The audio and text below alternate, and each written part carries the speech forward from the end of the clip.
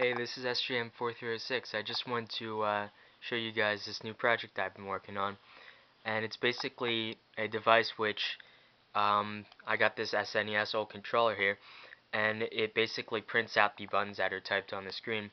Basically, I'm running this off of a single AA battery. It goes through a MAX 756 uh, step-up converter. Steps up to 5 volts to power the PIC16F84A as well as the LCD screen. So here if you boot it up basically just turns on the screen and you can actually enter uh, button presses via the uh, SNES controller right here. And I just programmed it so that when you hit start to select it just simply clears the display. Yep so that's pretty much all it is. And I've released the uh, source code online. I programmed this in assembly uh, via this in-circuit serial programming port that I made here. And uh, I'll have a schematic up soon, so